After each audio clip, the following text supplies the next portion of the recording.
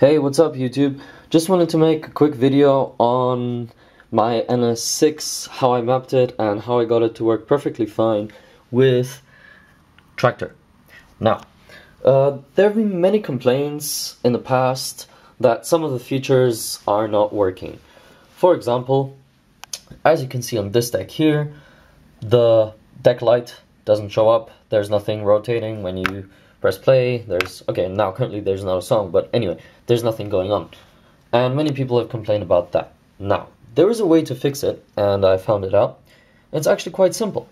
Now, if you think about it, the 4Trak came out just a couple of weeks, months ago, and they have also released a Traktor version for it.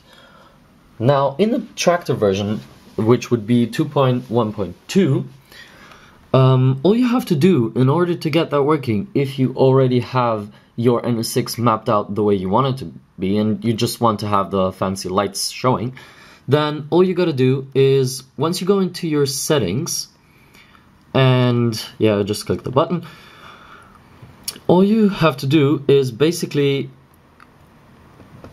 go into your controller manager, then click add, and then just just instead of importing your own, just click on Numark 4Trak and go to main. Sorry, my camera doesn't focus right now, but uh, you get my point. Just click it. You don't need to add um, any. You don't need to add the MIDIs. So you don't need to take the old one you had and do it again. That's not needed. All you have to do is just add a blank, basically a blank MIDI. Now this might be blank to you, but it's not blank to the software because basically what you're telling them or what you're telling the software is, hey, I've got a 4Trak connected, so please make my decks shine, which is what they do. And um, here is one deck. As you can see, the light is on clearly, and when I push, well, basically when I hold my finger on it, the entire thing lights up, which is pretty nice. Now, it's basically just like in the newer version of Itch, which I don't really want to use, but um, basically it changes color. So instead of being white, it glows to red, and when you change the layer, it becomes red as well, and the other thing, well, basically the, the entire deck shines red as well.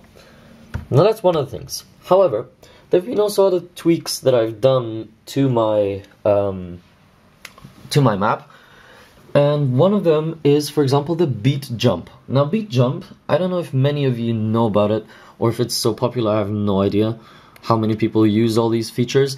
But I like to use it because it's very useful when you're trying to make a transition and just have the wrong capture of the four beats.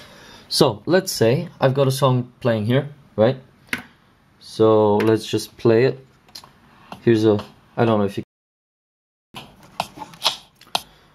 Okay, right. So that's my song playing. Now, I want to select a 4 bar beat, right? That's my 4 bar beat. Okay, now let's say, here I've clearly selected the wrong 4 bar beat. What do I do? Earlier on I had to just remove it, but what if I missed it backwards? So what I want to do is just click the backwards button, the shift, as you would do on itch, and it will go back once. Now this you can do like that, or if you disable the beat jump and I've just mapped it to the B uh, to the bleep button, you can turn that one off. And if you want to skip the beat, if you want to skip the for loop beat, you just click it once and it goes on, or you can go backwards and still stay in beat. Now this is very forward while still staying in beat.